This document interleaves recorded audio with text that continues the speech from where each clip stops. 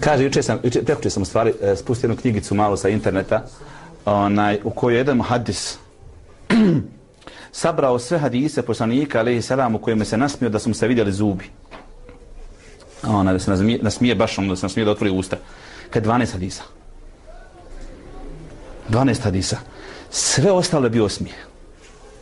Sve ostalo je bio smije. Znači, nema onoga smijeha gdje ona vidiš da je šesta pokvarena.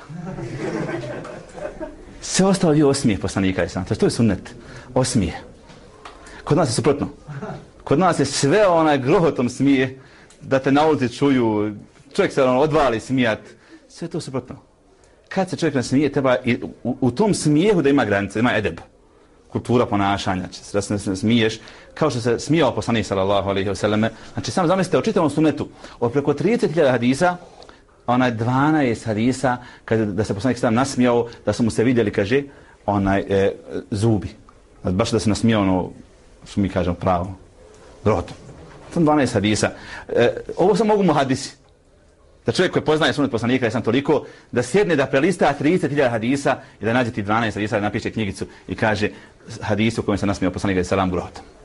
To je, ja kad sam vidio onaj naslov knjigice, onaj, naježio sam se, razmišljam, jednostavno čovjek nikad ne pomislio na tu temu.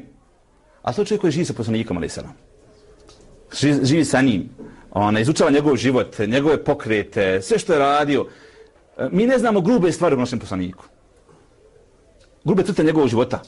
Ono, njegovu svakog ne poznaješ. Da ne govorimo o ovakvim detaljnim stvarima kao što je ova, ovaj podatak onaj, e, koji sam onaj, neki dan onaj, prekuće čuo. E, I mene je stvarno zadivio podatak. Onaj. Inače čovjek, da kažem, i u tim stvarima treba da e, gleda da bude onaj sljedbeni poslanika sallallahu alaihi e, wasallam.